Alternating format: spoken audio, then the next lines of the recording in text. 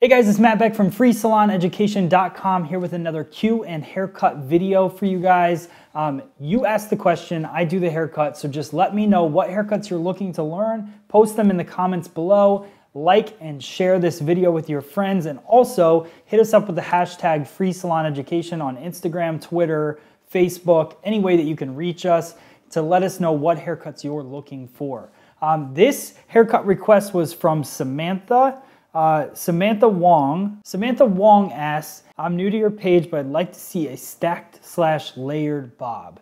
So I thought about this quite a bit, and I think a lot of people have different opinions on how much is a stacked bob, what is layering. So uh, this isn't technically layering, but we did work our way through the back, created a nice stack in the back, and then an A-line feel to the haircut. So it's got a lot of swing to it, um, nice side parting, see, oh, she looks nice. So nice side parting. We did get that stack in the back again, like I said. So Samantha, I hope this is the haircut you were looking for. Uh, let me know what you think. Um, we also finished this off with a lot of dry haircutting techniques and a new one for you guys as well. So I hope you guys like this haircut. That's why I'm doing them for you. Uh, leave in the comments below again. Let me know what you think. And let's get started with our step-by-step -step layered stacked bob. All right, so we're going to start off the haircut by taking a right-hand side parting. Um, definitely find your guest parting where they're going to part their hair uh, for this haircut. Then we're going to take that and direct it slight diagonal and then down center back.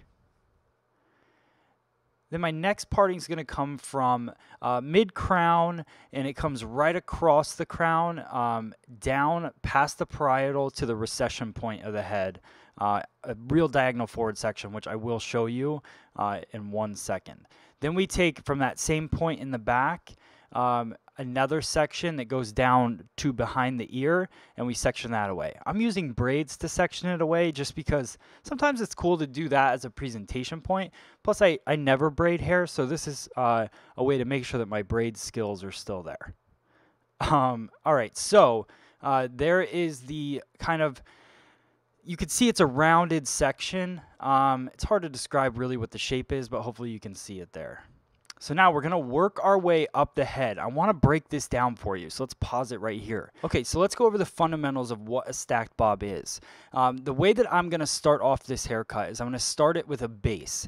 The base is going to be at 90 degrees. Um, sorry about the crazy drawing, but I think that this makes sense this way. So 90 degrees coming straight out of the head. Then as I work up the head, the head shape starts to peel away from my fingers, which is going to change the degree. That doesn't mean I'm really changing the, the finger angle that I'm using, just means that the head shape is moving so the degree is changing. But I do want to keep in mind that I want to keep it around 45 degrees because if it's not, it's going to start to stack too much and get too heavy. So we want to keep it nice and light all the way up till the roof point, which we're going to call it the roof, which is the hair that's going to fall over the top of everything. I want to make sure that that comes out at an exact zero degree angle, nothing less than that, because if it is, it's going to be way too heavy and it's going to throw off the whole entire look. So I hope that this picture helps you guys. But uh, that's the way that I think about this whole haircut.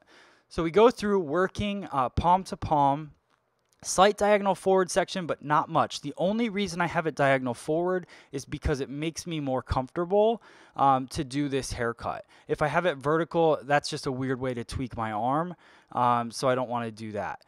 So now I'm going to go through using a uh, traveling guide. Um, so I'm bringing everything to the previous.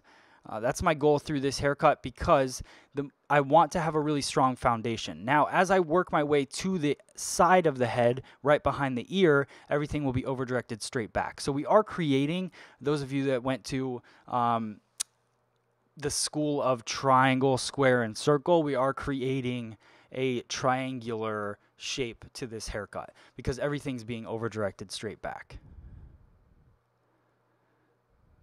So you can see the elevation of my hand keeps raising through the haircut, but then when I cut lower, it lowers. So I'm following the head shape through, uh, but know that you can see how it collapses at the bottom from pretty much the occipital bone down, but then the top is a little more stacked up. That's that weight, that density that we want to create the stack uh, in the haircut. over directing everything straight back. Somebody asked me about how do I do this without creating a hole. Um, it's pretty simple and I'm going to show you guys that you don't want to freak out right at this point right here. Uh, that's not a hole. What you've done is you've layered at the occipital bone so it pushes some of that uh, light hair down. We're going to cut all of that off in the dry cut so we're going to connect those lines together. When you cut hair this short uh, in a bob you're going to have that kind of because it's not meeting up with the hairline. So we're going to go through, we'll remove that later uh, and make it look nice, and you'll see how you can uh, make that adjustment. But I think a lot of people freak out at this point thinking that they've cut a hole, and you haven't. So you're good to go. All right, so uh, as we're moving on, we're going to move to the right side of the haircut. Now my finger angle is pointing down. The reason my finger angle is pointing down is because that, first off, it's comfort. Second, um, I was combing the hair towards the center of the head on the opposite side. So now when I move to the right hand side, I still want to be combing the hair to the center. Um, that would be very difficult for me to do if I kept my finger angle pointed up. So it's really about comfort. Comfort equals consistency. I say it in every video, but it's the truth. So just make sure that you stay comfortable. So keeping that angle and that elevation as I work through the head, you can see my elevation goes up. As I work down towards uh, the nape of the head, my elevation goes down. So I'm really following the head shape, but still over directing everything straight back. So you can see now we're going to remove a little bit of that weight. That was from our layering at the occipital bone. That will start to connect it, but we're really going to go in um, and honestly, I actually I cut that off because then throughout the video, you guys aren't thinking, "Wow, look at that tail coming off of there."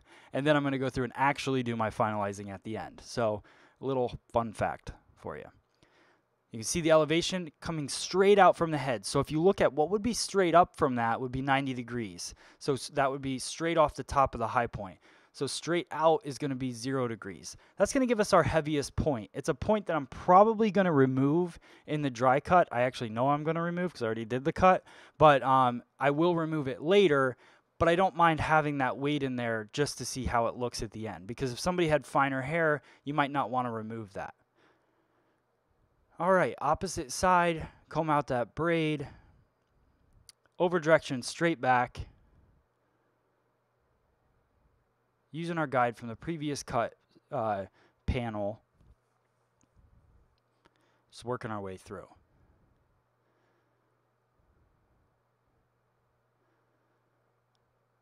And you can see this is a finish of our wet cut. Looks really nice. Again, could look great on curly hair.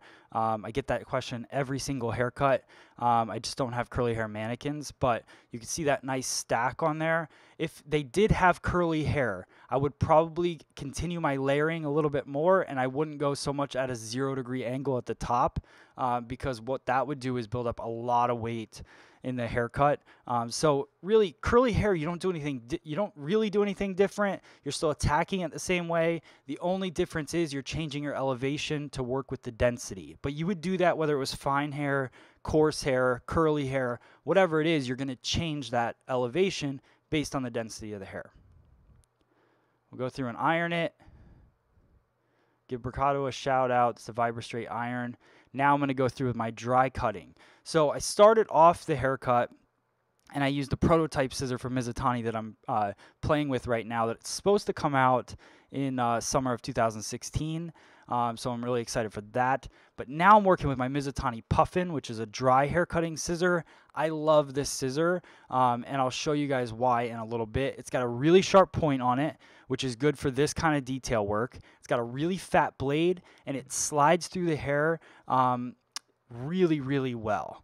I always say like butter, but it really it's it's amazing how soft it feels in a haircut. Now, this isn't a perfect scissor for cutting straight lines, but it's great for dry cutting. That's what it's for.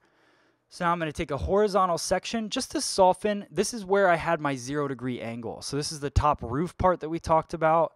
I want to go through and I just want to soften that line. You can see how I look underneath it to see how soft that's falling and then go through horizontally using a vertical uh, sectioning just to cut and remove some weight. Now, this is our final dry cutting technique. This is one of my favorite techniques that I just I hadn't really pulled out in, a, in quite a while. This is called no thumbs. So you pinch the scissor with your pointer finger and your thumb, and then you work and you just open your ring finger up and down. What this does is it adds a lot of texture to the haircut. You do not want to see a ton of hair falling out of this technique. So a lot of people, you might not really see anything falling. There is hair being cut in there. Um, so you're opening and closing the scissor as you're working, but it's very little pieces. And what it's doing is just causing, taking a little bit of uh, air, adding a little bit of air to the haircut and a lot of texture to the haircut. So um, I just like having texture and movement in haircuts. It's just, I think it brings it to life, it personalizes it. So the no thumbs technique is pretty cool, uh, and it's just something you can add in. If you wanted to, you could go through and point cut. It would be a very similar effect. This is a more random scattered effect with this technique, and it's definitely impressive to your guests um, if you do it correctly. If you don't, it's not impressive. So we can go through the side, do the no thumbs technique with that as well. Basically, the way I look at it is you're opening the scissor, you're grabbing hair, and then you're pulling it down and cutting it out. So as you lift up, when you're coming down, you're cutting into the hair that you're lifting up and just removing little pieces at a time.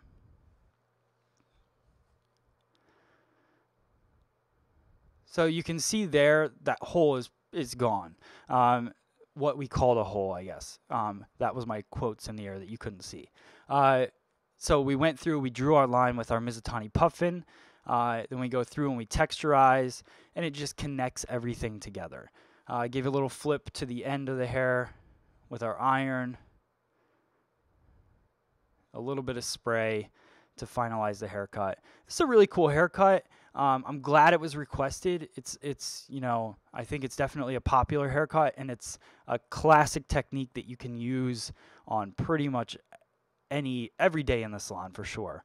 So hope you guys like this cut. Please hit that share button on social media and share this haircut with your friends. I had a lot of fun doing this haircut, guys. If you have any haircut requests, make sure that you leave them in the comments below, and I'll see you guys on the next video. Thanks.